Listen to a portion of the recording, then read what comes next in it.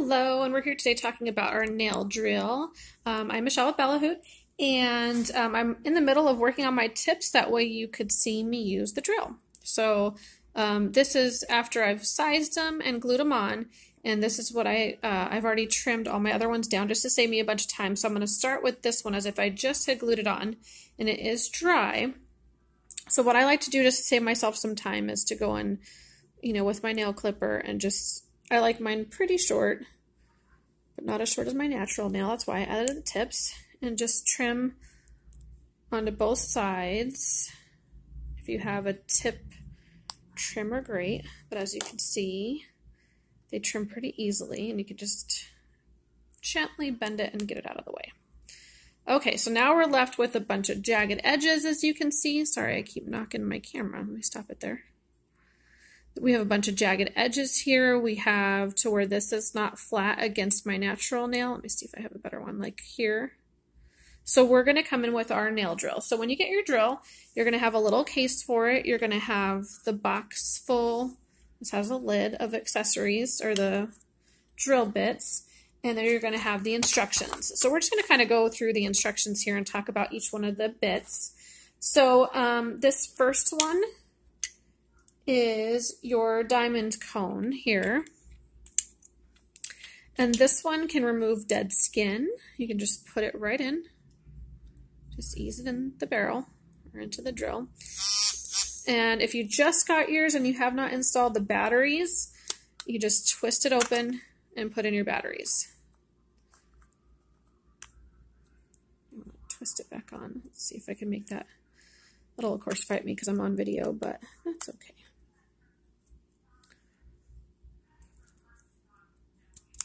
Okay. So now it'll turn on. I'm sorry, it's a little bit loud. But this one you can remove dead skin.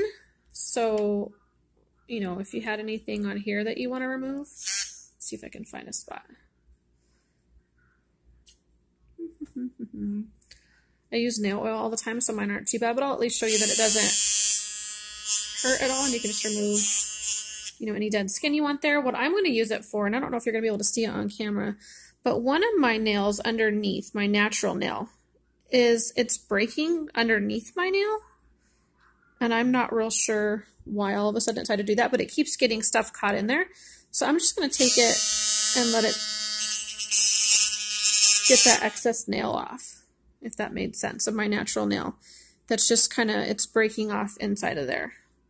So I think there's one more little piece we can see. So that's it. I'm going to trim that off. Okay, so that's the um, diamond cone or the metal cone. And then to remove it, you just pull it right back out. I'm going to keep hitting this camera. Okay. So next in my little set over here that I'm going to keep dropping, this next one is your small grinding cone. And this one can just get into hard to reach places. And if you see little bugs flying around me, it's because I'm over at my mom's and she has indoor plants. So we have little gnats that are just hanging out with me today. Okay. So this one's a cone, whereas this one's a barrel. I don't know if you can see the difference on the video, hopefully. So it's the smaller of the two. So this one's going to get in our hard to reach spaces. So see how like over here on some of these, let me see, where's a good one? You know, it's not quite laying flat. That's what I'm going to go in and try to fix with this. Let me see if I can not hit the, nope. I've got my tripod right above me so you can see. But I'm just going to go right into you know, the corners in here and I can smooth those out better than with the grinding barrel because this one's just smaller. So hopefully that makes sense, but you can just smooth out your edges right here where it's a little harder to reach. Oops, I'm sorry, I'm off camera again. So it'll just help file down the harder to reach little corners and stuff.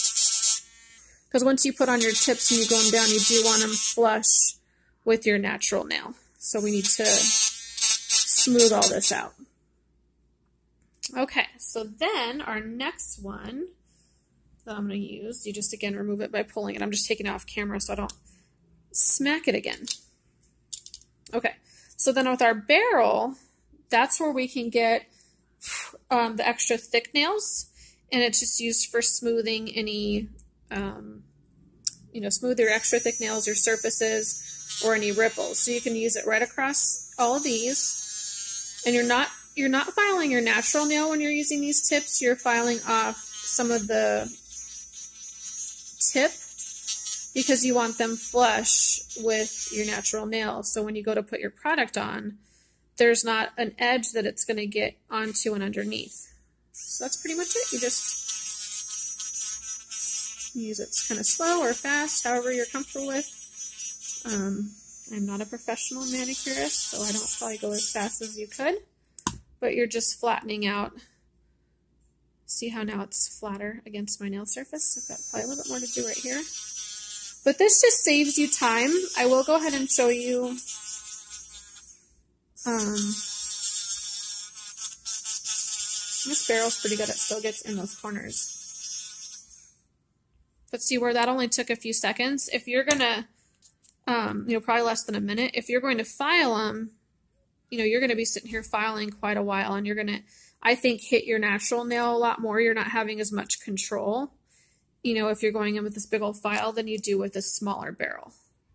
So, and this is a pretty small file, but it's still, you don't have as much angle control as you do with this pen. So that's the barrel. Then you've got your, and I'm not going to really show you anything with this because since we're um, applying um, nail art, we actually do not want to use the soft felt cone in this case because this one is a polish and shine. So um, when you turn it on, it's really, you know, kind of, it's not fluffy, but it's a real soft one. You would put it right on your nail bed and it'll shine it. And in this case, I guess go ahead and do something. I can always take it back off. But see how it adds that shine there? It's just to shine and polish your nail. Whereas when we're adding nail art, we don't want um, a super shiny. We want just a clean, no oil type of finish on it. And then finally, your flat emery head.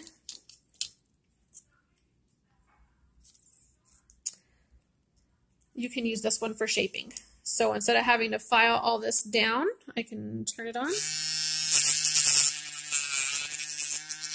And use it to shape this. This tickles my nails really bad. I don't know why. So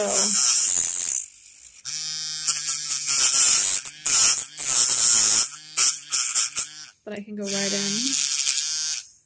And I, it, maybe you can see too, like how easy that cut through the nail. Look at how much does it remove it. Whereas if I was trying to use the file, it would take me a long time to get that that whole piece off.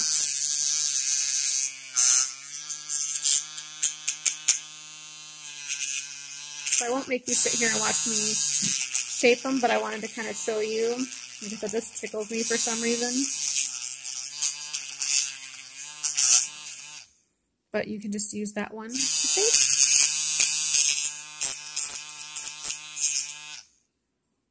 See how much cleaner that edge is already?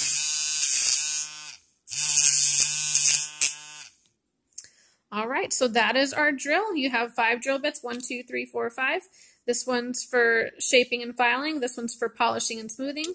This one's to smooth thick nails. This one's to get in the hard to reach corners. And I'm terribly off camera this time, I'm sorry. And this is our removing dead skin, skin or like I used it underneath my natural nail to get it nice and smooth.